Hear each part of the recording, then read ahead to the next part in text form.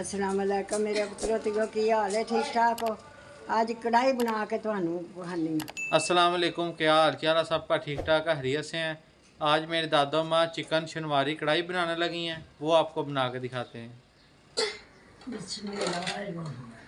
ले जी माशाल्लाह जी दादो माँ ने कढ़ाई ऊपर रख ली है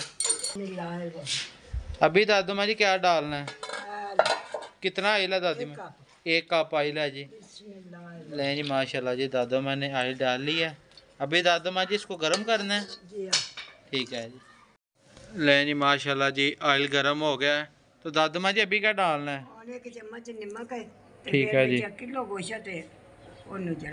ले जी एक चम्मच नमक दादो माँ ने डाल ली है और अभी दादो माँ चिकन डाल के इसको फ्राई करने लगे हैं दादो माँ जी कितना चिकन है एक किलो एक किलो चिकन है जी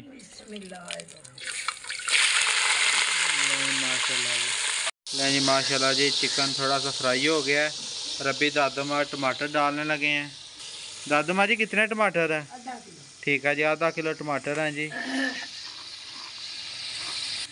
लें जी माशाल्लाह जी दादो माँ ने आधा किलो टमाटर डाल लिए हैं। जी माशाल्लाह जी दादू माँ ने इसको ढक के रख दी है।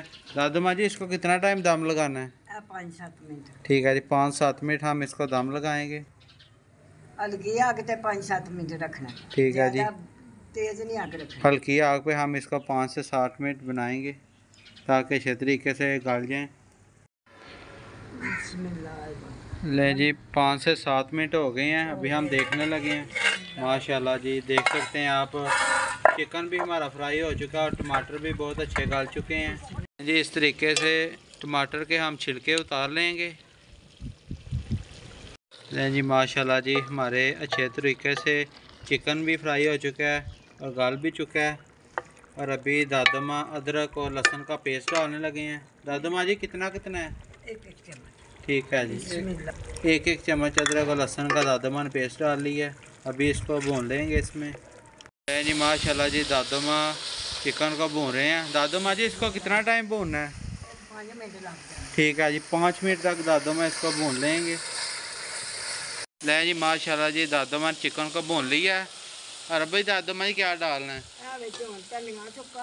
ठीक है एक चम्मच सूखा धनिया एक चम्मच काली मिर्च और एक चम्मच गरम मसाला दादो मैं डालने लगे लें जी माशाल्लाह जी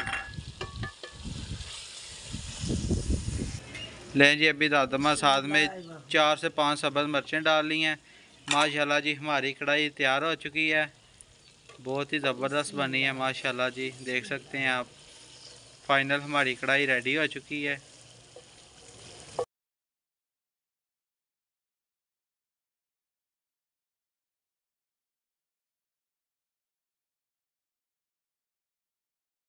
अच्छा तो गाय उम्मीद करते हैं कि आपको आज का हमारा ब्लॉग अच्छा लगा होगा तो प्लीज़ हमारे चैनल को सब्सक्राइब करें लाइक करें अच्छे अच्छे कमेंट करें ज़्यादा से ज़्यादा शेयर करें। तो हमें याद रखें अपना ख्याल रखें। अल्लाह हाफिज़। अल्लाह हाफिज़।